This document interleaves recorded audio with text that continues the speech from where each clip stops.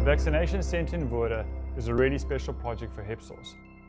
Hypsos' role in this project was to create a temporary vaccination facility and meet the safety requirements listed by our client, the Association for Public Health and Safety in the Netherlands.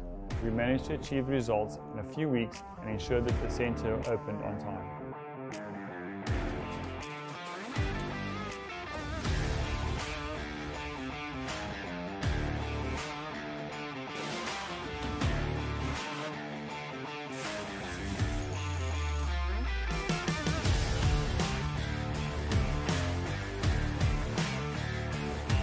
Hypsos was very fortunate to take part in the design and implementation process with our client.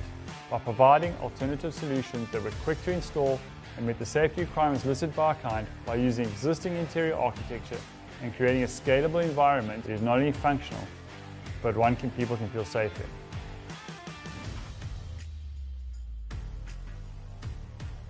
We created a reception area where the public were able to be screened for their appointments, a vaccination area where the public awaited their vaccinations to be administered. And we created a post-vaccine waiting area where those needed a little bit more time to get back on their feet. This facility is being used as a benchmark for the association to create more temporary facilities throughout the Netherlands. Hypsos's role in implementing this facility has been an incredible honour. In a time where adversity is prevalent, we are able to assist the greater community back on their feet in a way we best know how.